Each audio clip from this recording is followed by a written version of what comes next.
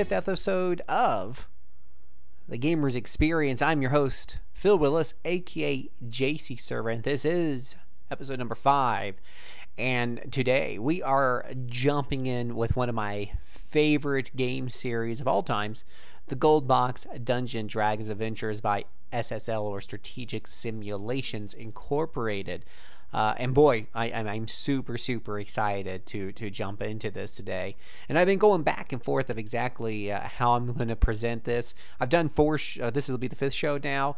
I'm starting to hit a stride with how I want this this show to go and fine tuning it here and there and tweaking it. Got a little bit, bit of feedback from friends, which has been helping out as well and uh, and and so hopefully some of that experience and stuff will come together with one of my favorite games of all time to make a really great show for you all. So, uh, boy, we start off talking about. Let me start off first of all talking about Advanced Dungeon Dragons. In case you haven't heard, uh, Dungeon Dragons is what we call a pen and paper role playing game. Normally, you sit around a table with some friends and you have dice, papers to keep track of lots and lots of numbers and stats. But the essence is that one of the people is a game master uh, or the dungeon master. His job is to start telling the story. He sets the stage. The other people in the on the round the table they're the players and they play the heroes and uh, they'll make up characters following the rules of the game with the dungeon master's assistance and those characters are playing roles within that story so the dungeon master keeps the action going. He plays all the monsters. Uh, he role plays the NPCs in the towns. Uh, he's the one who's worked on a lot of the plot details. But the characters around the table are the stars of the show. They're the heroes, unless they're playing an evil campaign, in which case they're the villains. But for the most part, they're the heroes, and it's their job to save the day. It was only a matter of time uh, in the 80s as video games were becoming more and more popular, uh, especially through the computer. It's only a matter of time before people start adapting uh, these role playing game experiences in some way, shape, or form to the computer.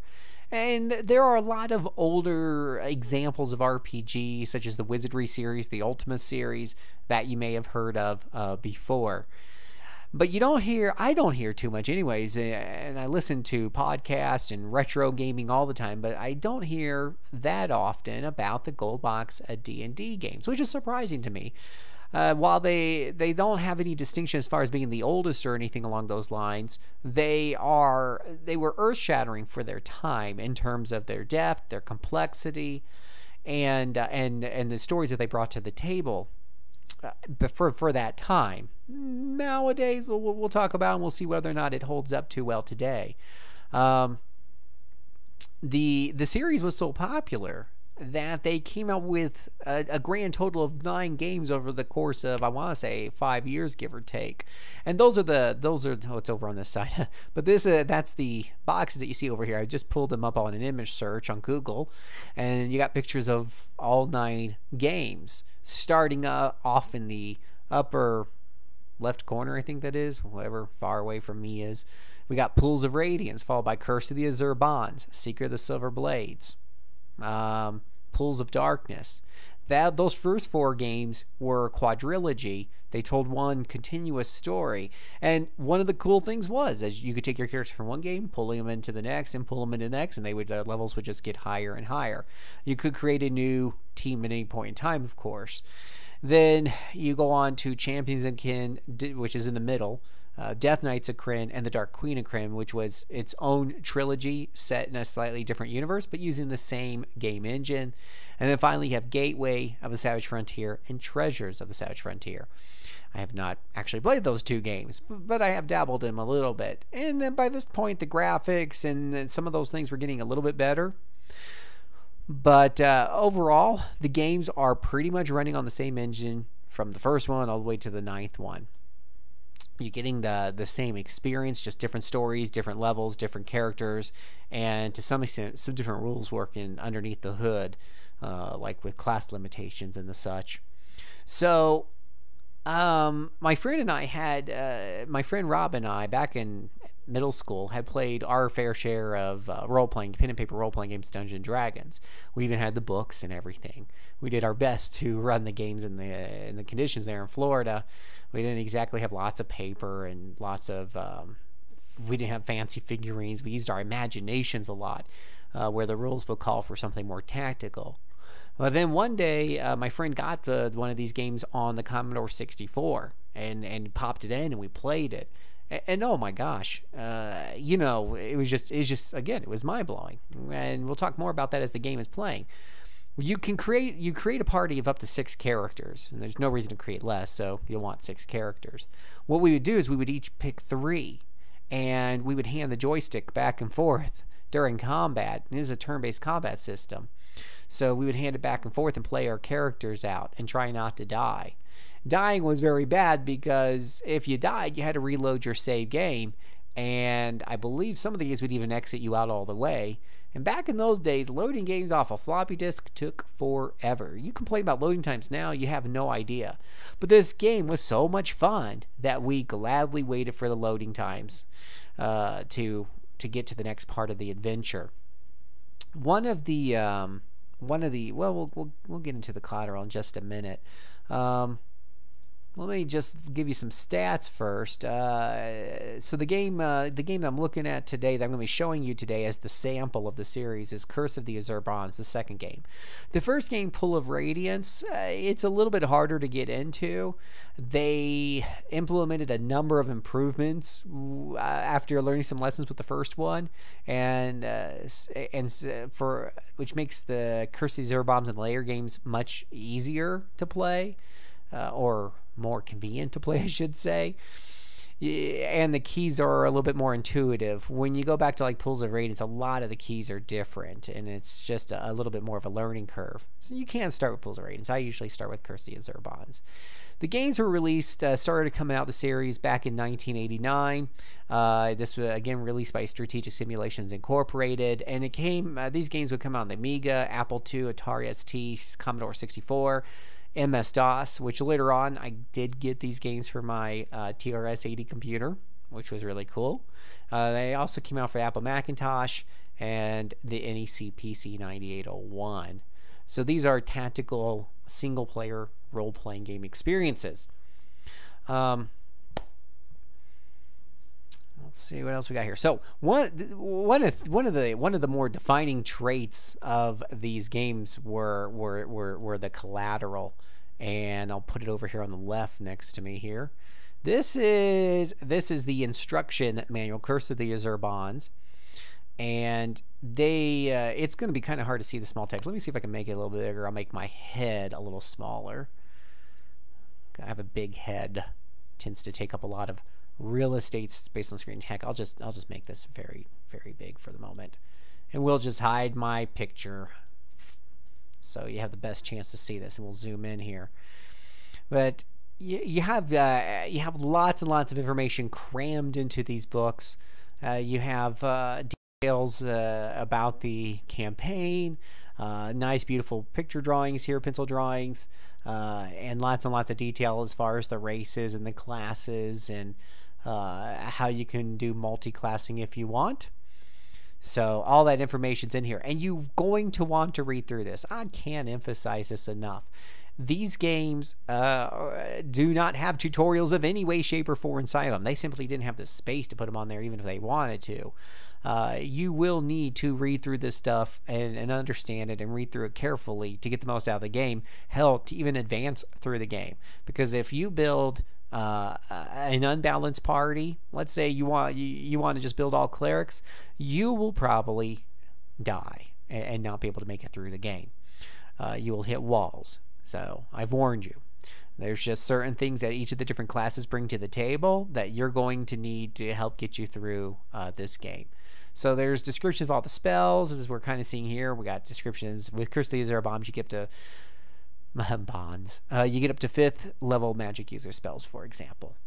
And then there's the statistics. Another thing you need to pay a lot of attention to. There's a lot of numbers uh, going underneath the uh, the hood here. Some of this can be a little confusing when you don't have basic understanding of uh, Dungeon Dragons, and it kind of helps.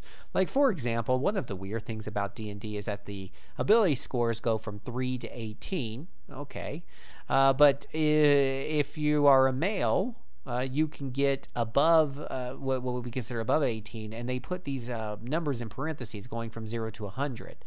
Now, only human males can get 100, uh, indicated by the double zero there. Half elf males can only go up to 90. Gnomes can only go up to 1850. Elves 1875, and dwarves 1899. Why? Just because. they they would later iron out a lot of these little idiosyncrasies in future iterations of Dungeons and Dragons. Uh, they got rid of the little percent numbers, for example, on strength, and just let them go up to 19, 20, 21. But uh, and you can actually get a 19 or 20 strength and bypass those percentages altogether.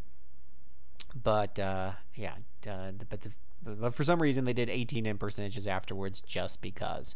Here's all the different weapons and how much damage they do, depending on the size uh, of the uh, of the creature you're hitting and uh, things like that. So lots and lots of information for you here to take in different classes have different experience uh, tables and how much levels they get. Uh, lots of numbers for you to kind of crunch through and think through um, as you're looking through this. One of the uh, one of the things you got to pay particular attention to is this table right here on the left, the maximum level uh, level limits by race class and prime requisite.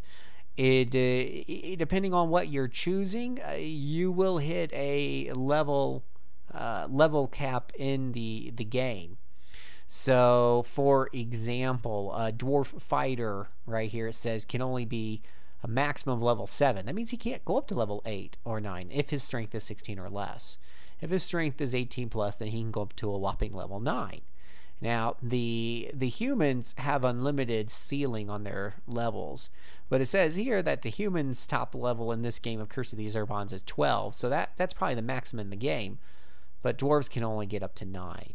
Uh, so, food for thought. Dwarves cannot be paladins at all.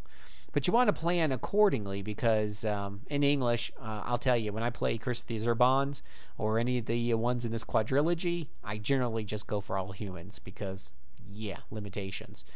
The only exception, I think, is like you can do a uh, the rogue seems to have a high level ceiling no matter what uh, race you're, you're picking, but I'll just go all human. And one of the things, if you're playing like uh, like Pools of Radiance, where the game only goes up to sixth level, anyways, you may not even think about these restrictions, right? Because the highest level in the game, anyways, is level six.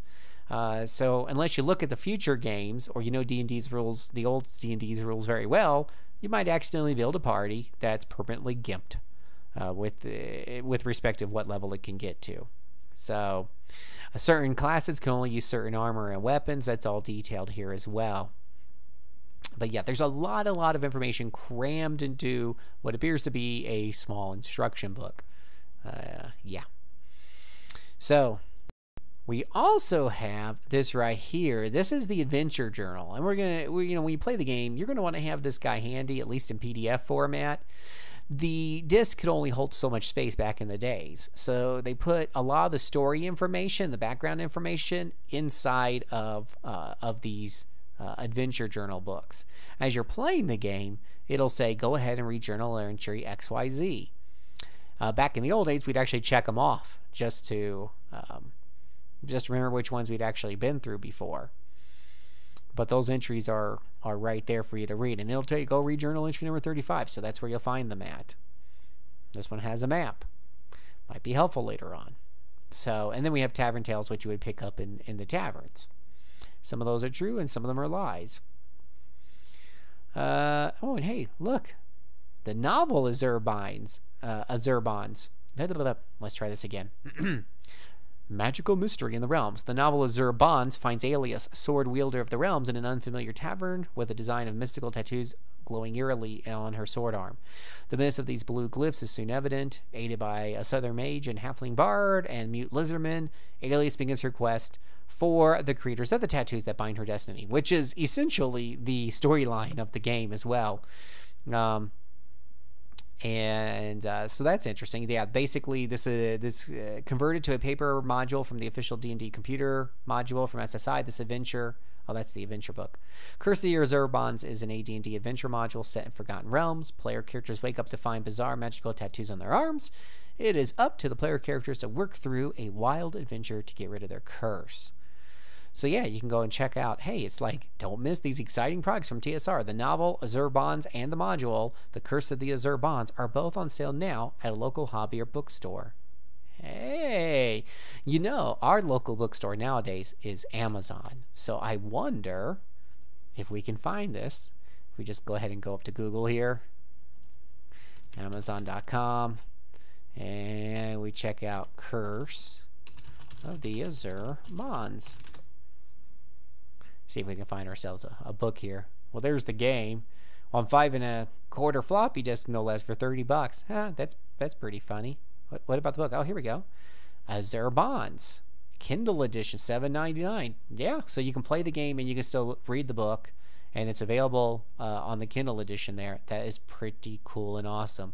Well, hell, someone's selling the paperback for 43 cents plus shipping, I'm sure. That is pretty cool. Uh, it's got all three, apparently, right there. Awesome, awesome, awesome.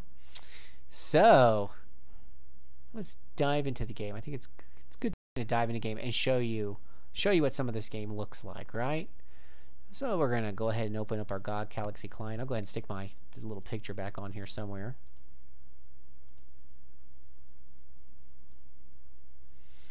Now, uh, while we're waiting for this to update, I've done this before, and you know, with these old, uh, old computer graphics, uh, it can be a little tough with the camera. So we're gonna try to, we're gonna try to play this one by ear.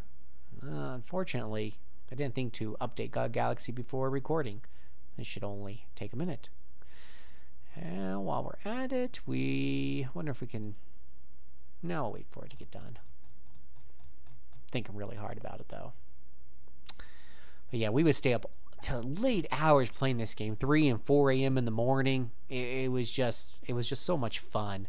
It was a great escape after the dreary days of school and the such. My Empire Earth background. That background changes on a regular basis, so you never know what you're going to get. And here we go. Right. Let's find Curse of the Azure Bonds and let's play away.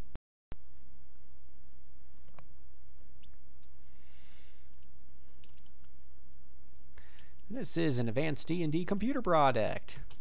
Now, Curse of the Azure Bonds. Boom. I'm gonna do a little I'm gonna do a little camera setup here to make this easier for you guys to see. So we're gonna take away the video feed from the monitor and see if we can just capture that game by itself for you there and then make it big that seems to be the best way to experience it. And it'll cut me off just a tiny bit, but I'll just move the camera there so you know you see all my room. There we go. Curse of the Azure We're ready to play. There's some copy protection here at the beginning. We used to have a wheel that you had to spin around and look up the characters. Uh, it was a pretty cool little wheel, and if you Google, you can find out more about the translation wheel copy protection. And I believe they, they, they got ripped out of here. You can put in any letter and it'll work, or just press return. That'll work just fine. And we're ready to, to start a save game. Now, one of the cool things about this game is creating your own party. That's that's something that, you know, in a lot of games they force you to use their pre-made characters in party. Boring. Here you can create your characters from uh, a number of classes. Uh, there is all the races here, and to go up and down, by the way, you have to use the home and the end keys. I use the number keypad for this. I've just gotten used to it. And like I said, in these Forgotten Realms games, the first quadrilogy, eh, there I don't. I just pretty much stick with human for for those leveling reasons I told you earlier.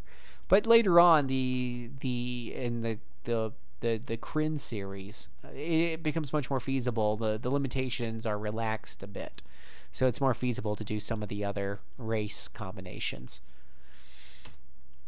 and you got your gender and that you know it's really funny uh, so we've had big feminism movements nowadays to bring women in equality with man which is great. Um, that's a whole nother podcast or conversation one day. But what's really funny is back in the old original d&d games they had the limitations of the attributes set on gender. So males could end up stronger than women nowadays you play even Dungeons Dragons on paper, unless you're playing one of the old editions, the maximum limit for men and women are the same, as long as they're the same race. Now, uh, now hobbits or whatever aren't going to ever be as strong as, as human maximum level limits. Um, But if you're both playing human, you both can have an 18 strength. Not so with the old one. So if you're playing a fighter or anything along those lines that goes stabby stabby, you want to seriously consider doing male because they have higher strength limitations. And you have your different classes here your healer, which is your cleric, your fighter, your magic user, thief, paladin, and ranger. Paladin's kind of like your holy fire. He gets a few cleric like abilities, and then ranger is kind of like your magic user fighter hybrid. Uh, but I generally don't really mess with these two a whole whole lot uh, in these games. I, I usually tend to stick with the, the basics. I might throw a paladin in there. You have the alignments. Uh, a rogue, if you're playing a rogue, he has to be some sort of neutral. Uh, I don't really put too too much thought in this. I usually just play a bunch of good characters. Now, you can the, you can roll your stats. Uh, so I can hit yes to reroll my stats, as you kind of see me doing here, and I can just keep rerolling until I get the best that I can get. Uh, this simulates the tabletop rolling experience, though it isn't quite nearly uh, as fun. I'm not exactly sure what rolling rules that they're using because there's different ways to go about this. Normally, you'd roll 3d6 and you just put the number straight down. Um, not really sure what they're doing here. Three. This looks like it's more than 3d6. There's another way to roll that says roll 4d6 but drop the lowest die. That might be what they're doing here. And here you can see this guy uh, got an 18 with a 59 there in parentheses. So it shows you uh, it shows you their level. A bunch of statistics on here. Uh, I could spend 20 minutes just telling you about statistics, but the armor class right here is is how hard you are to hit. It starts off at 10 for the most part, and the better your armor, the lower it gets. It even goes into the negative numbers. To hit armor class 0 is what you have to roll on 20 sided dice to hit something with an armor class of 0. So if something's pretty well armored, I have to roll a 14 to hit it. If it's unarmored like me, I would uh, have to roll only a 4 because you would take the Thaco minus the armor class. Uh, encumbrance is how much weight I'm holding, I think.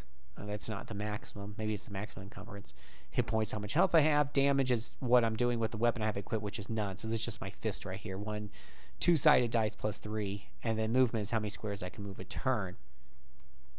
So we'll go ahead and keep uh, these stats here because we're going to show you a little trick here. Whoops. Well, it doesn't matter which stats we keep, and I'll tell you why in a minute. Uh, we put in our name. And and here's where you actually spend the most time, which is designing how your character looks. Now you can change this at any point in the game, but this is his icon in battle. And I mean you can go for different heads. So we got all kinds of different headgear here. You can go for different weapons. It doesn't necessarily have to be the weapon he. This, this guy looks like he's holding a dagger, but I could have a two-handed sword equipped. Uh, there's a disconnect there between what your character looks like and what you actually have equipped in the game, unless you go in and change his icon. We'll just keep this uh, for now, but you can change his skin color, his clothes color, so you can have all kinds of different looking characters. And then when you're ready, you save it, add Bob to the party, and there's a lot of keyboard. There, there uh, it might be possible to use the mouse in this game. Uh, I'm just so used to using the keyboard to play it. It's much faster. Uh, I think in Pools of Radiance you couldn't even use the, the mouse if you wanted to. Uh, so it may not be usable here. We can try. So here's a whole bunch of different options. We can create new characters. We can drop this character from the party. We can modify him, remove him from the party, which means to save him. Drop him means he's just gone forever. Um, but here's our fair one: modify uh, character. And we'll, by pressing M, we can now modify Bob and we can go ahead and give him all maximum stats. So there is no difficulty setting in this game, but here's a game pro tip from Phil. If you want to play this game on what would be considered somewhat medium settings, you want to go ahead and max out all of the character stats to the maximum. You also want to make sure to go down here to the hit points and maximize that as well. Uh, that seems like it's cheating, and, and, in a way, you know, on the pen and paper rules, it is. But uh, this game also throws some really, really tough encounters at you that they didn't properly uh, play test against a, a, an average party, I swear, or you just got to be really lucky. So putting everything at 18s kind of just even some of those odds up. And D&D is a old school D&D is a brutal game to begin with, so this just makes the game uh, to where you'll only struggle through some of the encounters, namely the boss or the final encounters of some of the dungeons. Um, if you want to play the game on hard because you're a better tactical role player, then by all means roll your stats the old fashioned way. And if you just keep rolling until you get something good, but you don't have perfect scores, you're now playing the game on basically hard mode. And if you want to play it on super hard mode, just put your stats down even further. Or just play with four characters. So the difficulty is really based on how well you do or you don't do your party. So I just wanted to show you that. You can keep it and, and whatever. I'm going to go ahead and drop him. If I want to save him, I could just uh, remove him properly. But we'll go ahead and drop Bob forever. Yes, Bob bid you farewell. Because I've already got a, a game saved that I'm going to go ahead and, and play a little bit and show you. I think I got the right game here. Okay, so I the opening part of the game uh, shows you and your part of, of Curse of the Azure Bonds, and I won't go too deep into the story. I could be here all day. But as I mentioned in reading that introduction to the book, your party uh, wakes up uh, in an inn with strange bonds uh, tattoos on their arms that can, can compel them and force them to do things they don't normally want to do. Early on in the game, you actually attack the princess's coach, and as a result, the town's guards are after you. You end up running away and uh, taking uh, refuge in a thieves guild for a bit, and then they come underneath siege, and it just it gets really crazy. Like the book says, it gets kind of crazy. Um, once you get out of that city, the first uh, and you get through the Fire Knives uh, Guild and the sewers and the such, the first sigil or tattoo disappears. But there's still like three or four others who are claiming to all be your masters. You don't want that, so you want to find ways to get rid of them. Once you get out of the city, you come up to this, you know, this overworld map right here. And this is where the game kind of becomes a little open ended which was also pretty cool for its time. You can go where you want to, and uh, you know you can you can set tell it here. I want to go Shadowdale or Teshwave, and you'll start walking your way there. And um, as you see, how I just decided to go this way down the river, and as your boat travels downstream, another craft comes alongside and forces you ashore. River pirates board and attack. So we get the we got ourselves a, a bit of a battle here. And this is where the tactical gameplay comes in. So here's my party of six people. Uh, and Shirley here is a cleric. So, um, because the icons are kind of big and the resolution back in those days not very high, they can only fit like uh, six characters here. Um, but if you hit aim and then manual, you have freedom to move the mouse around.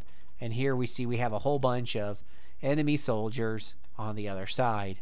They are armor class 4, uh, which is pretty, pretty kind of tough. And uh, they have 35 hit points in their sporting uh, broadswords. Not really sure if they can cross this river or not. That's, that's a good question there. That river kind of separates us, doesn't it? Well, we're going to find out. Now, since it's my... Oh, there's a little bridge right there. Is that above us? Yeah, that's above us. So they might come up there. We're going to, for now, we're just going to delay our turn. You can do that by hitting done and then delay. And that means you'll get to take your turn later on in the round. I'm going to do that for all my characters and see what these guys do. Apparently they're attacking with crossbows. That's very cute.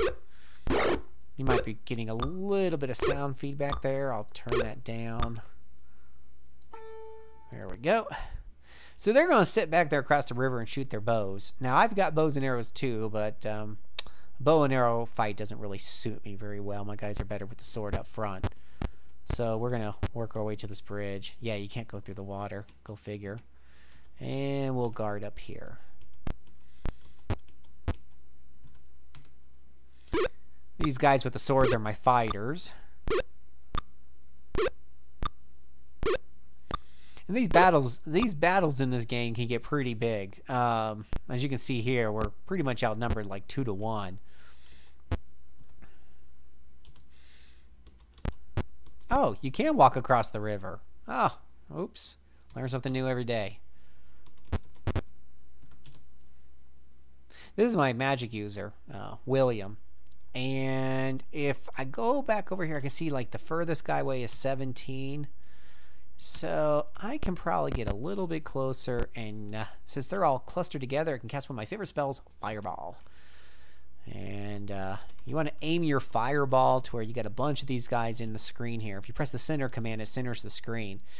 And uh, usually a fireball will hit everything except for the three squares in the corner on each side. So you kind of like, hmm, what can uh, what can I do to get the most people here? But that's probably it right there. So we'll go ahead and hit target. Our little fireball will blow up and do all kinds of damage. In later games, the, the graphics really do show a big fireball blowing up. But I did some damage to all of them. We're going to keep trucking across the river here.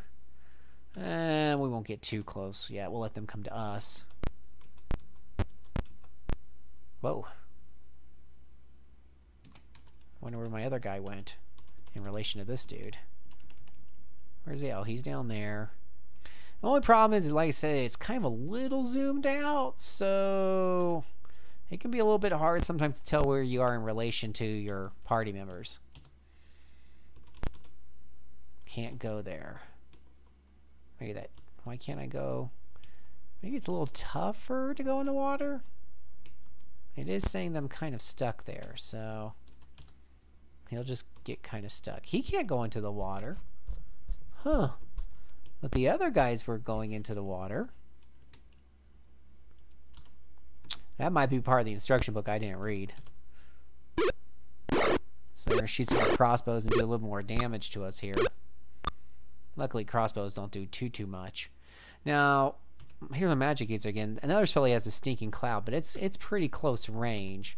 I'm going to have to get a bit closer to start stinking cloud them. Can't get my magic user too, too close. Tends not to end well.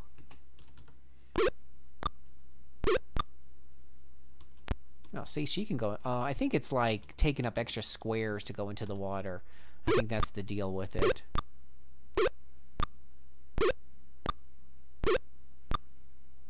Lots of arrows there.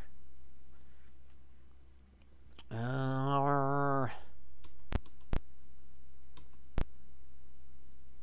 Hate to get him all the way out here by himself, but this is too much fun to cast this spell here.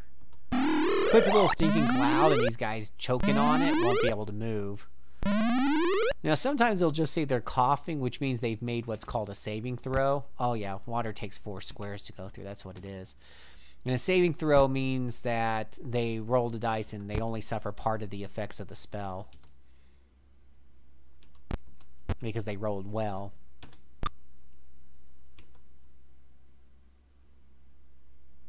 Hmm. This poor guy here. This is my other cleric, and uh, apparently he doesn't have enough squares to go through the water, so I think he's gonna... Is he really encumbered or something? Yeah, he can only move three squares a turn. Boy, he's never gonna get there. Uh, should have done something about that before. He's gonna be moving slowly. So yeah, all these guys are coughing, and now my wizard can take his dagger and actually slay the helpless guy with one dagger. Uh, I mean, um, dart, which is pretty funny. Here's another fighter. Take out another one of these guys, which is good because there's so many of them. Now, some of the spells, this is old D&D, and the spells really weren't balanced too well. Some spells are immeasurably more useful than others. And we're going to give you an example of that as soon as our clerics get kind of close here. In the meantime, we're going to keep slaughtering these guys. Here's this poor guy. He's going to be trucking forever. Sorry, dude. Alright. Well, here's one cleric. And this is where it gets fun. So clerics, uh, clerics can pray, gives everybody bonuses. They can dispel magic effects. They can silence casters.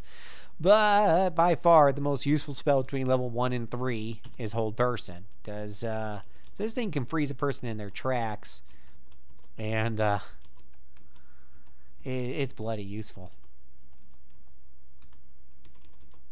And it, you get to target three people, and each one has to make what a saving roll. And if they roll poorly, they get frozen, just like that. So between, oops, walked right by that dude. If you walk by a guy, uh, he gets a free attack on you. And I think one, two, three, we can put a stinking cloud right there. Wait. Manually. We got one helpless dude already. I need to get some more darts. Let's get rid of that helpless dude. Another they're so cute firing their arrows. Now you can put your party on autopilot, and everything will move very quickly. You can actually speed up the game if you want to. Um, I just got this set to where I can actually read what the hell's going on.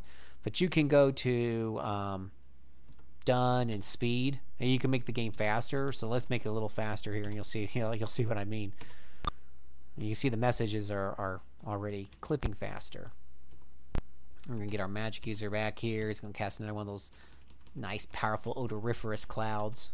Ah, oh, he's too far away. Ah, I knew that spell was close range. Shoot, it's really close range. And here's that cleric again, another hold person. One day this guy will join the fight. One day. I think I had him carry all the loot from earlier, that's the problem. The loot is where is holding him down.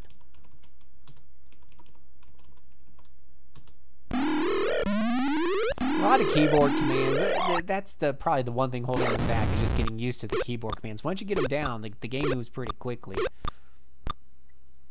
You can see the text is faster here. And it's so fast that I didn't even see how much damage I did there. So that's why I usually like to make... Oops, I hit delay.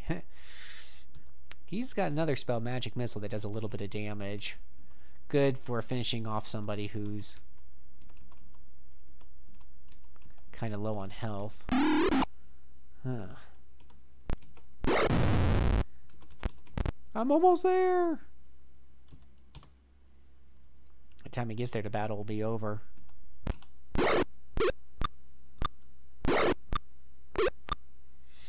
But yeah, when you put the speed um, faster, you can really get through these battles.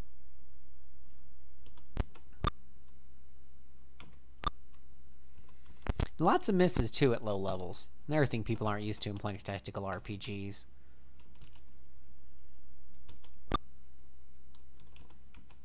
And we'll hold him, and we'll hold him, and we'll hold him. Instant death for them.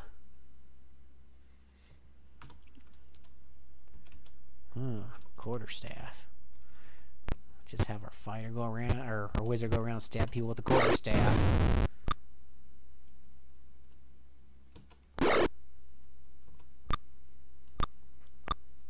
Now, I don't have um, a rogue in the game, but if you did, and one of your party members attacks somebody, the uh, the rogue comes up on the other side and hits them from the other direction, flanks them essentially. You can do uh, double, triple, quadruple damage depending on the level. Just getting through the rest of them.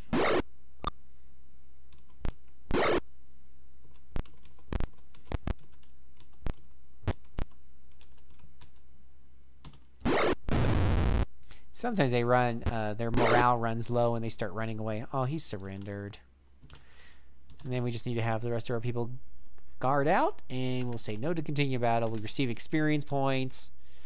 Um, you can take any of the things that they had, like their crossbows and their bolts and stuff.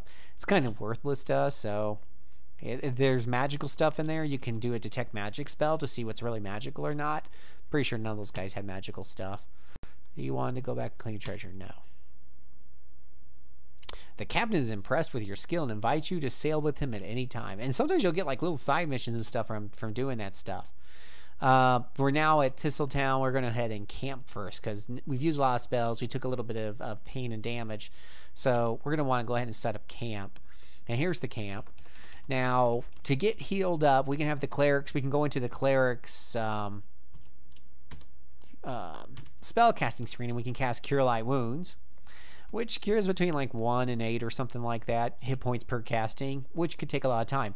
That's how you have to do it in Pools of Radiance. You have to sit there and cast all those spells, slowly heal people up, rememorize, finish healing them up, rememorize. It's it's very tedious even if you're fast with the keyboard. Um, with uh, with the newer ones, they put in this uh, fix command, which uh, allows you to automatically cast all your healing spells and rememorize them assuming that uh, you don't get interrupted during that time. Before we do that, though, we have to re we have to tell the game to rememorize some of the spells that we cast. So we cast a couple of our um, hold person spells. So we're going to ahead and memorize those. And we let's go down here. Magic and memorize. We memorize. We used up a couple stinking clouds. We used up a magic missile, and we used up a fireball. And then he used up a hold person. So if you rest here, it takes eight hours for my guys to get all those spells uh, memorized. Uh, so we can rest. We'll get all of our spells rememorized. Now that we've got them rest memorized, we want to go ahead and heal everybody. So what you want to do here is go to exit and go to fix. And that, boom, fixes everybody right up. It basically blows all of your healing spells and then automatically rest for however much time you need. Um, and now is always a good time to save the game. Save early, save often. Um, but yeah, we have choices. We can go into Telschwave. We can see what's there in the city. We can go to the inn. Welcome, adventurers, to the ruins of the Crescent Wave. All we have left is the common room.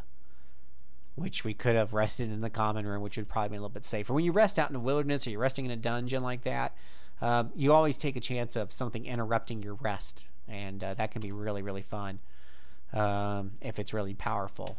We can go to the store, store we can buy, we can appraise uh, what magic gear we have. One of the interesting things about uh, Dungeon Dragons is that your stuff um, isn't automatically identified. So if I go on my view and I go on my items, I know this stuff is magical. I had cast the detect magic on a lot of this stuff earlier. But if this is a longsword, but how's it magical? So to do that, I would have to pay to identify it and it's a longsword. It's a plus one flame, flame tongue longsword, which is really really nice. Um, that'll do extra fire damage. I want to put that on one of my fires, so I can go up to let's say Dave up here, and Dave is overloaded, so Dave can't have it. Uh,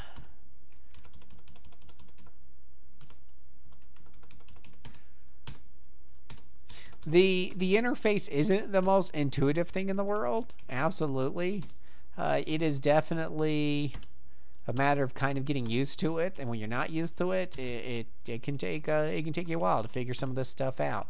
So go ahead and unequip our regular longsword, equip the flame flame sword, flame tongue plus one. Our THAC0, actually I didn't even know, take note of it before, but if you see right here, our THAC0's 13. Two hit armor class, somebody with an armor class zero, I have to roll 13 on 20 sided dice, which is roughly what, a 30, 35% chance. So if I go into items, and equip this it now goes down to 12 plus I'm doing extra fire damage. That's where the flame tongue comes in. So that's pretty cool. And my person's got a little bit better. I've got gold I got jewelry I got gems so I got lots of money. Um, you go to the bar you're in a burnt out Hulk of a once fine inn what will you do have a drink what will you drink some beer you're over here tavern tale number 19 that's where those tavern tales from earlier come in and if I pull that guy up, uh, Tavern Tale 19, let's see if I can find it for you real quick. And it is on. I think it's on. Do, do, do, do, do. Give me one second here. And here we got Tavern Tale number 19. The city was devastated by troops from Zhentil Keep and now all the roads ro roads are heavily patrolled. So very good to know. Um, I don't think we'll have time to get into a dungeon, but when you're in a dungeon, it takes like a 3D a 3D view, like a lot of games did back then, and it'll display in this little upper window here, and you use the arrow keys to move around. There is sort of an auto map uh, feature, but it's crude, and sometimes the map turns off. Like you don't really know your surroundings, so it doesn't want to show you a map. It, it helped a lot of people back in the day to draw maps of it. It's grid based, so it's not too hard to do. But uh, in the 21st century, where we all have less patience, uh, some people just go ahead and download help from the Wikipedia that already has all those uh, maps in place. So that is that is a brief overview of how the, the game works. The meat and potatoes, there was a lot of the combat system. There is a bit of fair bit of story going on as well as you try to figure out what's going on with those sigils. And this is not your your typical Final Fantasy save the world type of game. Uh, rather, it um, it's a little bit more adult oriented or mature in, in how it deals with themes and the such. So, uh, it, it, to me, it was pretty cool. It was pretty immersive, and it was a lot of fun to play. And it was pretty cool how it would carry. You would have this major kind of plot thing being carried from game to game to game, and carrying your party forward was pretty neat. So, that is uh, Curse of the Azure Bonds. Um, I, I, think that this game is still fun today. You know, tactical RPGs uh, are coming back. There's a lot more of them coming out, and I do uh, enjoy them. Like we have Shadowrun and we have Wasteland Two. Um, there's just more and more uh, tactical games kind of coming out here and there. But I still like to go back and I like to play Curse of the Azure Bonds today. And if I have somebody who's really into tactical RPGs, I, I try to recommend it to them. It, it, has been harder to get younger fans and friends into it because they take one look at the graphics and they balk. They don't even attempt to get into uh, into it. And even if I could get them past the graphics, I'll be the first one to admit that some of these rules are arbitrary and convoluted. They're not intuitive. You have to stop and read the book. You know, it'd be really funny. I when I bought this on MS DOS for my my TRS 80 uh, I remember having the box in my hand in the car. A little bit of a Phil story here, but the instruction book was like this thick, and I couldn't wait to read it. So I'm stuck at a red light. So I I, I read. I was starting to read it. Somehow, in being fascinated, you know, thick this thick instruction book while I'm at the red light, my my foot came up a little bit too much off the brake and I slowly rear-ended the guy in front of me. Didn't do any damage at all. We, we went in and drove on, but I was like, okay, I got to put this away. You know, nowadays it happens when people are texting because they can't put the texting thing down. But back in the day, Nerd Phil was all about reading this book. And I would take it home. Mom was like, let me see this game you got. She's like, that, that instruction book is huge. And I said, that's how you know it's a good game. And to this day, that's the running joke in my family. You know how good a game is by how thick its instruction book is. Unfortunately, or fortunately, depending on how you look at it, number one, games don't really have big, thick instruction books anymore. They teach you everything you need to know through the game. Uh, they save money by not printing out the manuals, and or the games just simply aren't that complicated.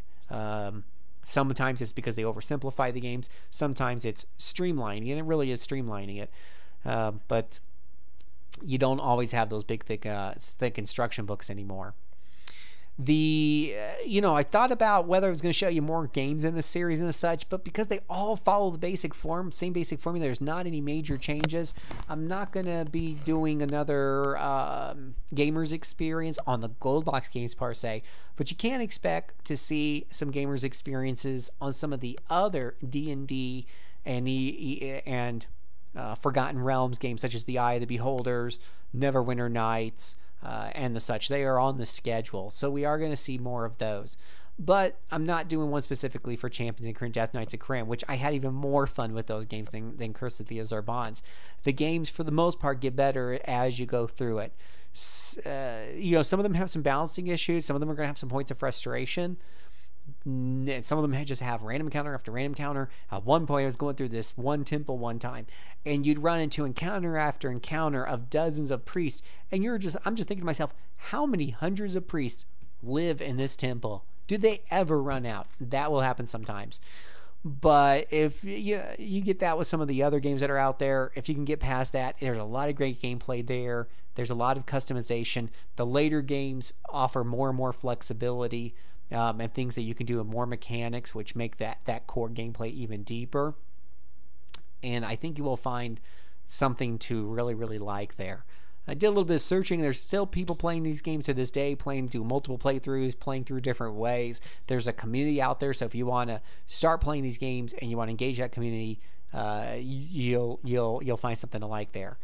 If you want something that's a little bit more modern but captures the spirit of this game, I think uh, probably a good one I could recommend to you. It's on the tip of my tongue.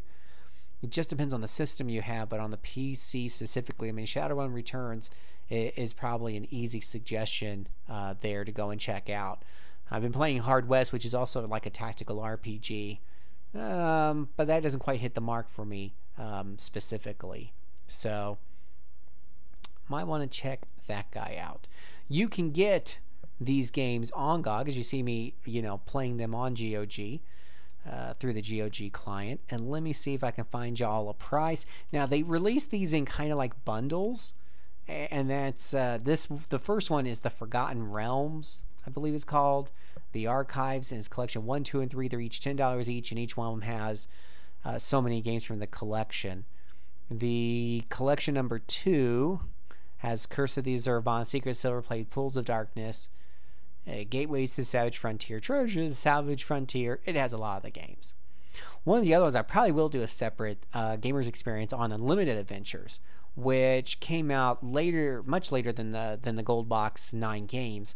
But it was actually an editor that would let you make your own Gold Box adventures. So we'll talk more about that in the future. But yeah, you can pick up six of these games for, for nine bucks. For thirty bucks, you can get all of them plus a lot of the the per uh, other um, D and D games that came out later on, like Eye of the Beholder.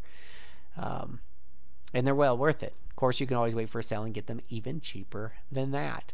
The GOG client and the DOSBox setup work really, really well. I haven't really had any issues with it. You can speed it up, you can slow it. D&D is an easy game to play anyways, um, as far as speed goes, because you can easily slow down the game from within the menu options. It isn't uh, freaking out because your clock speed is too high or anything along those lines. So I highly recommend you check it out. If you are a Gold Box fan, I'd love to hear from you. Leave some comments, you know, right down there below. You can always shoot me out a tweet. I'm at JC Servant. You can write me an email, jcservant at cyberlightcomics.com. Uh, you can check out the other Gamers Experience on the Gamers Experience playlist. You can check out my theological videos, which I've started picking back up again. Uh, that will also be down there. And if you like hearing people talk about video games like this, go over to rpgamer.com. We have a lot of podcasts over there. There's one that my friend and I do called the RPG Backtrack. We're up to 160, and we talk about computer and console RPGs from the way back when all the way up through yesteryear. So you can go and, and listen to us talk uh, more in detail about some of your favorite role playing games or maybe some of the ones that you missed.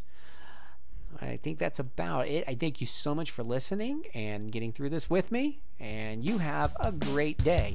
Take care.